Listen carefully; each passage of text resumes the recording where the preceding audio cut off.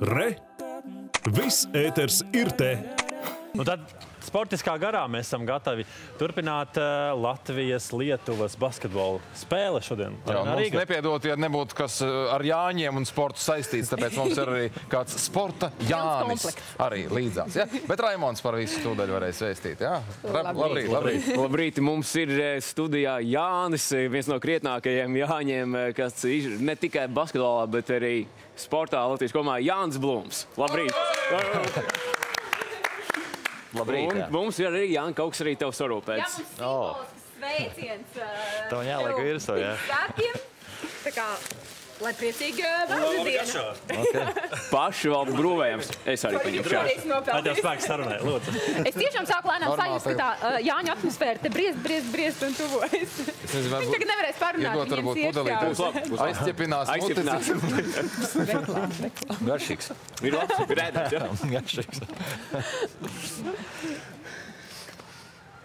Jānis Blūms, kā jau minēja, ir eh, viens no ikoniskākajiem Latvijas eh, basketbolistiem, tīpaši pēc eh, neatkarības atjaunošanas 140 eh, spēles. eh, se- 107, 170, 170. 170, 30 kaut kur arī nedaudz pazud, bet 170 spēles. Septiņi Eiropas čempionāti un ilgadējs Latvijas basketbola valsts vienības eh, kapteinis.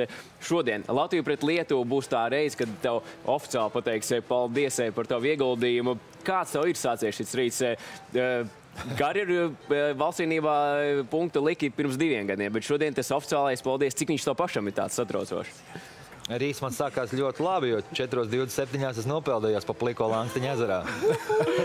Tas Gan jaudīgi. Visiem bija jāpeld šajā rītā. Ja? Tā kā tāds man rītis sācies. Un, eh, protams, ka patīkam šeit stāvēt eh, uz domu laukumu. Skatu uz domu laukumu fantastiskā rītā ar saulīti. Par basketbolu mēs vēl parunāsim, bet eh, peldēšana tieši vasaras vai gada, precīzāk sakot, garākajā dienā vai īsākajā naktī, kā to tur sanāca. Tā ir tā tradīcija, ko tu esi jau gadiem jau no, nodibinājis, vai, vai viņa kad tev ir radusies? Nu, pēdējos gados, principā, kad es esmu nu, Latvijā, ja, un eh, es, es cenšos tajā 21. No, Piecelties, ja nu, naktī uz 21, 22, piecelties tajos 4,20, ja, jo- kaut kādos 4,27, 28 saulīt lec, un tad, tā kā saka, aiziet pa pliko nopeldēties, lai, lai viss, viss teiksim, tas sliktais vai kaut kas tev iznāk ārā, un, un, un, un, nu, bet tā sajūta ir fantastiska. Tāds ir dzīvības eliksīrs. Jā, ziņā. dzīves eliksīrs, pēc tam enerģijas pieplūdums ir ļoti liels. Un tad jau vakarā būs gana mošs, un tas rokas spiediens būs visiem tāds visstingrākais. Ne?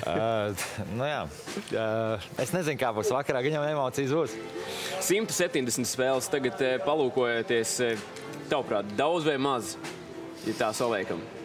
Nu, man liekas, ka tas ir tāds liels cipars. Nu, tagad mūsdienās ir ļoti grūti, man liekas, uh, 170 spēles dabūt. Tas ir, tas ir man liekas, daudz, tas ir daudz gadi. Daudzas vasaras, un, uh, bet, bet tas ātri pagāja. Nu, man liekas, ka nesen es vēl debitēju, tā kā izlasēju, un tagad jau tā kā, tā kā tas ceļojums mans uh, basketbolā ir beidzies. Bet uh, noteikti es visu atceros ar labām, la, labu tādu. Noteikti, puikas, es maziņš biju, es nevarēju iedomāties, ka es spēlēšu izlasē, un tad šodien es pat mm, vispār nekādos sapņos nerādījās, ka es varētu teiksim, būt arēnas Rīga vidū, Latvijas-Lietuvas spēlē. Nu, tā. Šo nogriezni, ja tev vajadzētu viņai iedot kādu no varbūt Jāņa ticējumiem vai, vai kādiem. eh, Kādām paržām, kā tu viņu ietērptu? Kas, kas ir bijis tavs ceļojums Latvijas valstsvienībā? Ceļojums uh, bijis. Nu, Es nezinu, kā es viņu varētu ietērpt, bet man, man, manuprāt, es esmu izdarījis uh, tas, ko es noteikti, tas, ko es gribēju. Bijis daudz uzvaras, arī kaut kāda zaudējuma, kaut kāda kritika. Kritika vienmēr dzenas priekšā sportā, ja? bet vienmēr es esmu atdevis sirdi un dvēseli komandai un, uh, un centies rūpēties par viņu. Un arī bijis vienmēr atsaucīgs jums, mēdījiem, līdzekļiem. Noteikti es ar lepnumu varu teikt, ka es esmu izdarījis visu, ko es varēju. Kas, bija, kas ir tas eh, kodols eh, valstsvienībā? Vai parasti runā par motivāciju, par, eh, par patriotismu, par sarkanbaltu sarkano kreklu, kas nu, tomēr ir īpašāk viņa uzvalka nekā klubā. Bet kas bija tev šo nu, 20 gadu garumā, kopš tas valstsvienībā bijis? Noteikti nekāds tur tāds, teiksim, tas lielākais kaut kāds līgums vai kas, tas neatsver to, ka tās sajūtas, kādas tu vari at- atrast, nu, vai dabūt izlasē, ja, kad tu spēlē kaut vai šodien, ja tu spēlē pilnās tribīnēs pie arēnā Rīgas, savu vecāku, tur draugu, ja, klātbūtnē ar Latvijas fórumu, ja, tas, man liekas, nu, tas ir tas basketbols, tam tas pats augstākais, kur tu vari būt, ja. Labi, tur tas ārpus basketbola, tas, kur tev ir darbs un, un klubs, ja, kur tu teiksim, nopelni savu iztiku un tā. Uh, bet uh, tur nav tādas sajūtas. Sajūtas ir šitien, ja. Sajūtas ir šitien, un tāpēc tā ir izlases, un tu cīnies par, par valsti, priekš saviem, priekš, noteikti priekš, priekš savām ģimenēm, priekš skatītājiem. Un, un, un tur tu visu to, to, to, to, to foršo dabū novērtē. To, to ka tu tur spēlē un nopelni nav, tas ir cits. Jā, bet šitien ir tās emocijas, kuras noteikti kad tam uh, basketbolistam, sevišķi izlases, izla, izlases līmenī, tas ir, tas ir tādēļ, kā mēs trenējamies smagi katru dienu, divas reizes. Tīpaši vasarās, kas ir bijis nu, tas eh, vienīgais atelpas mirklis no sezonas, bet eh, nu, daudziem eh, viņš jāpaliek malā, lai varētu palīdzēt izlasē. Tas bija Eiropas čempionātā vai kvalifikācijā, nu, kā tagad arī redzam, pasaules kausa ļoti svarīgas spēles tieši kvalifikācijā. Nu, tāda ir tā specifika, ka tu vasarā pēc, pēc garās sezonas tev ir izlase, ja, un tu kaut kādā ziņā ģimene vienmēr mēr cieš. Un, un, manā gadījumā tas bija 20 vasaras, un mēs reāli ar sievu nu, neko baigi tā nevarējām tur plānot. Tagad variet savas tradīcijas dibināt no rīta, Nu, tagad, peldēties vasarā. jā, tagad mēs varam mierīgi jā, jā, no rīta iet peldēties. Un, un tagad noteikti esam ā, liela līdzekļa Latvijas izlasēji, tagad citā statusā, līdzekļa statusā.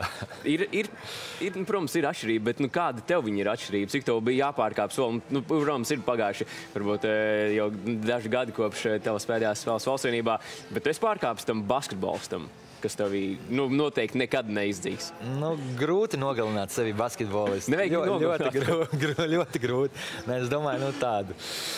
Tas profesionālais, kā saka, kretīnisms man vēl ir. Un es katru dienu mēģinu vienu, vismaz, vai citreiz pat divu treniņu sanāk. Ja?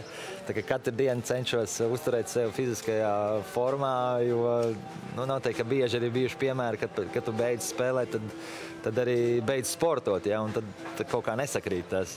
Nu, pēc tam, bet eh, es tā nevaru, man, man prasās visu laiku kaut kādas fiziskas aktivitātes. Un, un, un, nu, jā, bet basketbols pa lielam nu, dēlu trenēju un kaut kāds mazos puikas, kas atbrauc pie manīm šeit. Tad, Kā kapteinis noteikti tas bijis tas, kurš ar balsi ir kādā mirklī to, to komandu pavērs vienā vai otrā virzienā. Kas ir, nu, tā būtu jānosauc tāds spilgtākais brīdis, kad tu jūti, ka tas, ko es esmu pateicis, eh, vai tas, kā kopumā mēs kā komanda vai ģērbtuvē, vai ejot uz spēli, esam eh, nu, vai izrunājuši vai, vai saprunājušies, ka tas ir eh, tas, kas eh, nu, viens no būtiskākajiem mirkļiem, kas tev paliks atmiņā. Noteikti, ka daudzas spēles vispilgtāk varētu būt.